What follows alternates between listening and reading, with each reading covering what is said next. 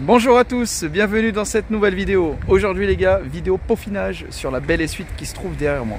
On en profite, on est au Groupama Stadium, stade olympique lyonnais, dédicace à tous les joueurs de foot.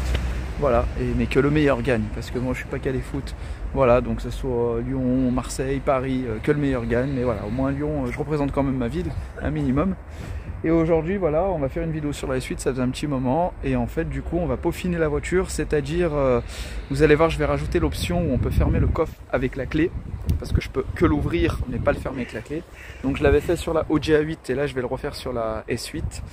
Euh, je vais vous montrer aussi deux trois trucs euh, où j'ai eu un souci de coffre qui avait du mal à s'ouvrir ou même du mal à se claquer.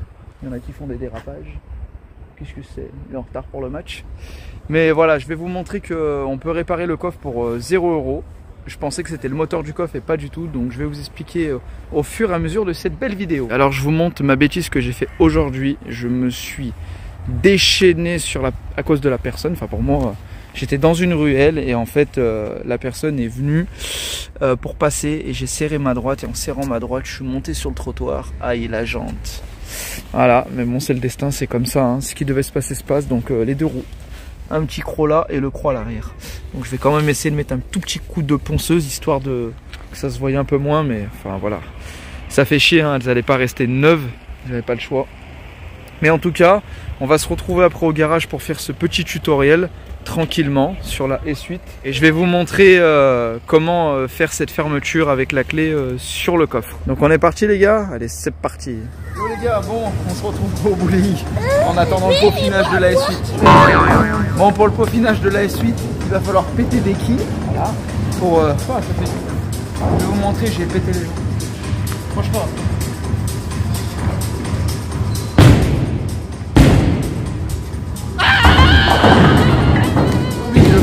comme ça qu'on joue. Bon, c'est bien le bazar dans le garage. Donc là, comme vous l'avez vu les gars, on va aller euh, installer le petit relais pour euh, pouvoir ouvrir le, coffre. Parce que du coup, comme j'ai expliqué en fait avec la clé, on peut simplement l'ouvrir. On a le bouton aussi sur la porte qui nous permet de l'ouvrir. Voilà. Par contre, pour le refermer, ça marche pas. On est obligé d'appuyer sur ce bouton qui est d'origine. Et moi, je vais faire un système pour quand j'appuie, là, ici, ça le referme aussi, et sur le bouton de la porte, qui est juste ici. Celui-ci nous permet de l'ouvrir, mais pas de le refermer. Donc, euh, grâce à mon système, on va pouvoir fermer et ouvrir. Donc voilà. Petit peaufinage, on a acheté un établi il n'y a pas longtemps, voilà.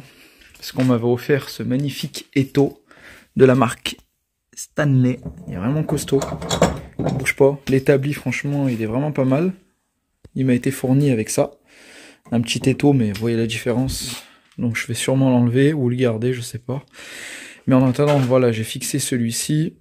Je pense que je vais repeindre les pieds en noir. Je vais mettre un vinyle en bois clair. Et je pense que je vais repeindre au pinceau en gris les planches. Il est vraiment vraiment lourd, il est costaud. Hein. Et j'ai une planche également ici pour pouvoir venir fermer pour cacher, mais euh, je pense que je vais la jeter. Moi, je vais laisser ouvert, comme ça c'est plus accessible.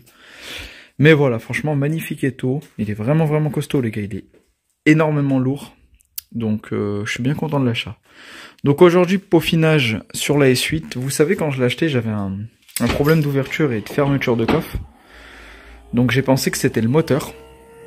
Et ben, finalement, non.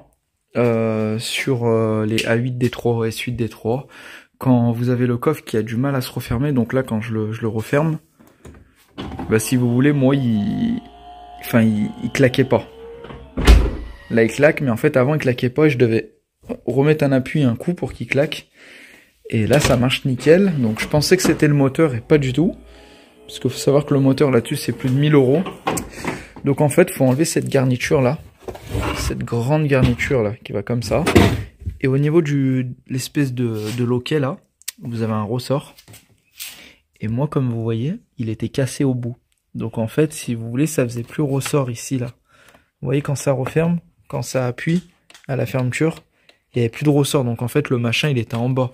Donc il n'avait pas de, de, résistance pour dire euh, qu'il est verrouillé le coffre. Donc j'ai simplement repris le ressort d'origine et je l'ai ouvert à la pince et j'ai fait un petit un petit anneau comme ça, et nickel. Voilà, ça m'a coûté 0 euros. En pensant que c'était le moteur, et pas du tout. Regardez, hein, j'en avais acheté un. Enfin, je m'explique. Le moteur entier, le bloc complet que je vous mets à l'image, ça vaut 1000-1300 euros chez Audi. Moi, j'ai acheté le moteur qui va à l'intérieur du moteur. Je sais pas si vous m'avez compris. Et j'ai payé, j'ai payé ça 150 euros. Donc là, je suis en train de voir pour me faire rembourser parce qu'il il ne met d'aucune utilité. Euh, peaufinage de la S8, je vous montre. Regardez ce que j'ai acheté. Ça m'a coûté 10 balles sur AliExpress. Vous allez comprendre ce que c'est pour le coffre. Ça, souvent sur les Audi, vous voyez ça, ça casse, ça merde. Donc là, on en a acheté un neuf, 10 euros. Regardez. On a vraiment la résistance. Et ça, du coup, et en fait, ça va en dessous. Vous avez vu, c'est le contour.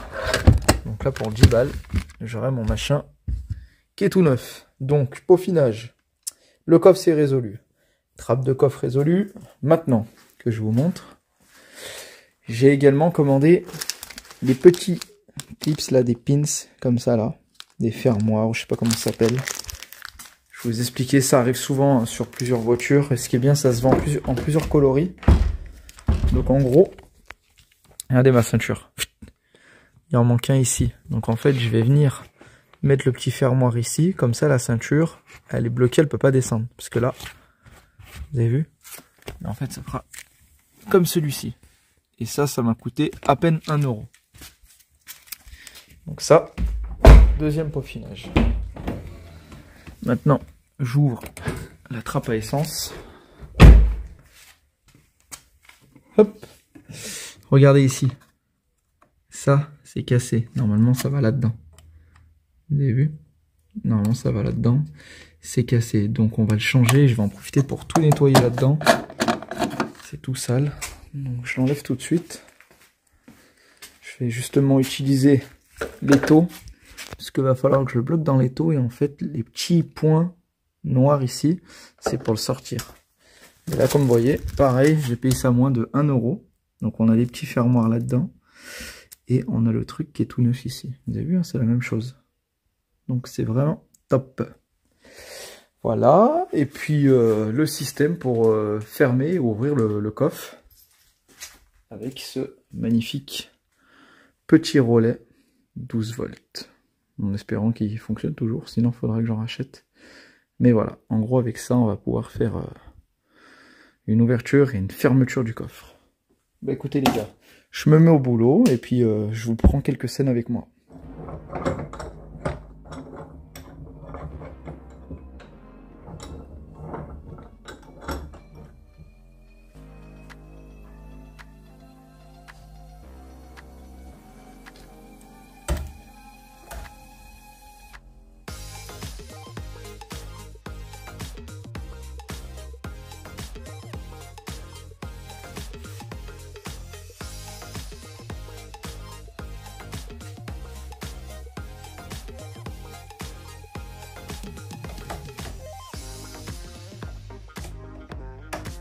Et voilà.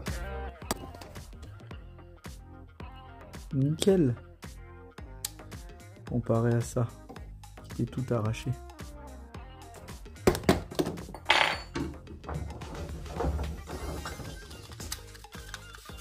Voilà, impeccable. Il n'y a plus qu'à le remettre. regardez. C'est nickel. Regardez la différence, c'est nickel. Voilà, on a remis un loquet. Au moins, il tombe plus. Et après, vous l'accrochez ici. Voilà, c'est parfait. Nickel.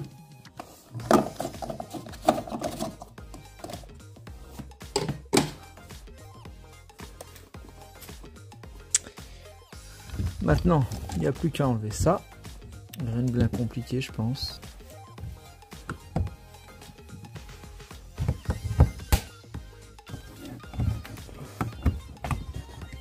Ah, ça y est.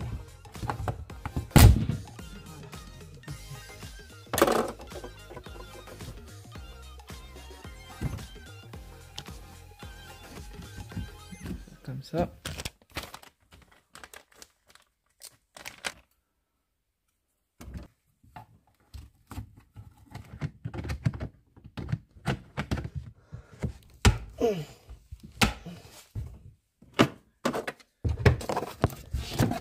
Ah, regardez, c'est nickel. Et là, vous avez vu? C'est du bon travail. Et voilà, pour 10 balles.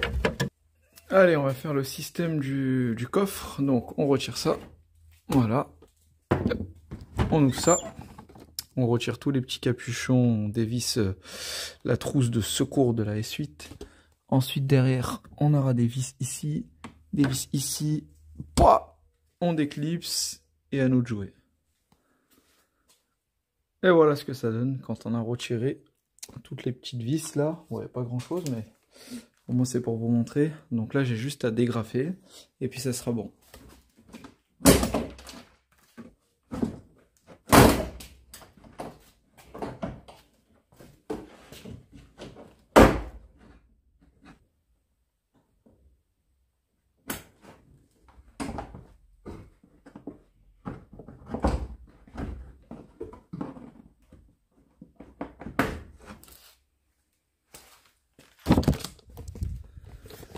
Donc voilà, le vif du sujet.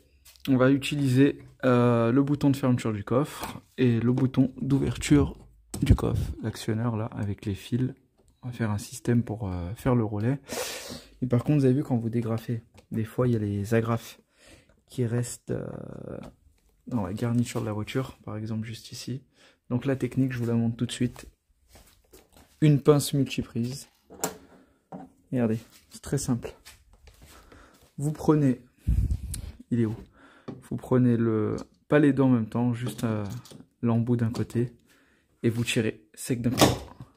Vous avez vu? C'est une petite technique hein, que je peux vous refiler, et ensuite j'avais juste à le remettre. On en profite pour vérifier qu'ils sont tous. Là, il en manque un. Et il en manque un là. Donc, normalement, j'en ai un là. Regardez, vous avez vu?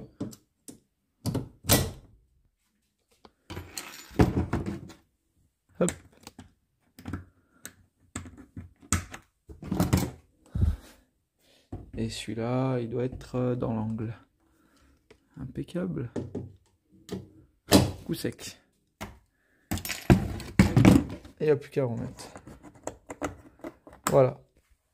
Et ben voilà les gars, regardez. Nickel. On a installé le relais, donc si vous voulez voir ce petit tuto, je vous mets le lien euh, directement épinglé en commentaire. Donc euh, voilà, j'ai installé un relais. Hein. Donc le petit relais que vous avez vu, hein, avec les 5 pins.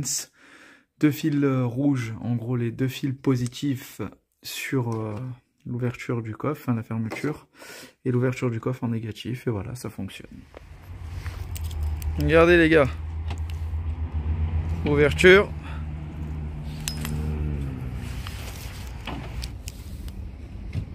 et fermeture.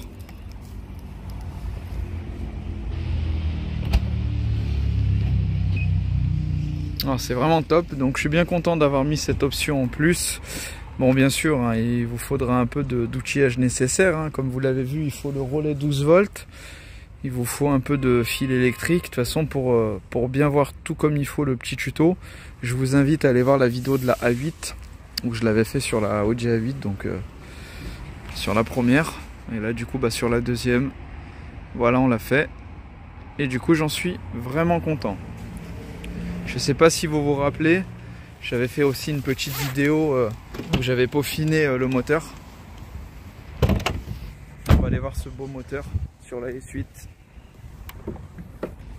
Regardez ce magnifique V10. Donc j'ai mis le logo voilà, ça fait plus propre. Et le petit logo en rouge sur le S. Par contre, quand on se rapproche, voilà quoi, j'ai fait ça avec un bout de covering. Par contre, euh, j'en ai chié, hein. j'ai passé pas mal de temps à y faire. Et pour le logo, juste à mettre de la colle. Et du coup, bah, c'est nickel. Par contre, voilà, la colle, elle a débordé un peu là. Il y a un peu de résidus, mais franchement, c'est que dalle. Je me tâte à voir par la suite si on lui fait pas des, des descentes là au niveau des volets papillons en inox et on lui met euh, des cornets directement. Comme ça ça fera plus aéré ici et là aussi. Parce que voilà ça j'aime pas trop. Je sais que cette partie je peux la trouver sur internet faut que je m'en occupe. Juste, acheter ce manchon avec celui-ci. Donc euh, je vais voir. Mais en attendant voilà peaufinage euh, logo c'est nickel. Vraiment content. Donc n'hésitez pas à me dire en commentaire hein, si vous avez aimé le peaufinage surtout au niveau de l'arrière, la ceinture, euh, la petite trappe du coffre, c'est vraiment cool. Là les prochaines modifications sur cette voiture, polissage complet avec céramique pour que ça brille de partout car il y a pas mal de micro rayures. Donc on retrouve des toiles d'araignée ici. Je sais pas si vous voyez bien, il y a vraiment vraiment pas mal de micro rayures. On en a également sur le toit. En fait, ça fait vraiment toile d'araignée, quoi. Je sais pas si vous voyez bien. Il y, a, des rayures un peu de partout. Donc ça, ça va bien la rajeunir. On peut voir là, clairement. Regardez. Un bon bon polissage. Par la suite, démonter les deux panneaux de porte. Les deux panneaux de porte avant, pardon. Pour lui faire faire les vitres teintées. Voilà, puisque là il n'y a aucune accessibilité pour un poseur de vitre, enfin un poseur de film, pardon. Donc obligé d'enlever les panneaux de porte. Donc c'est pas bien compliqué, hein. faut déboîter cette baguette. Ensuite il y a deux ou trois vis. Et ensuite vous avez une vis ici à l'intérieur au fond. Donc ça va se faire nickel. Regardez la vis elle est au fond là, je sais pas si on voit bien mais voilà j'ai l'habitude d'y faire et après vous tirez, vous dégrafez. Et puis voilà, un peaufinage euh, sera terminé. Hein. Et à voir pour lui mettre un, joli petit volant. Un petit volant et mes plats. Donc les gars, merci encore d'avoir regardé cette vidéo. N'oubliez pas de vous abonner, de laisser un pouce en l'air. Et puis moi je vous dis à très vite pour la prochaine vidéo. Allez, ciao ciao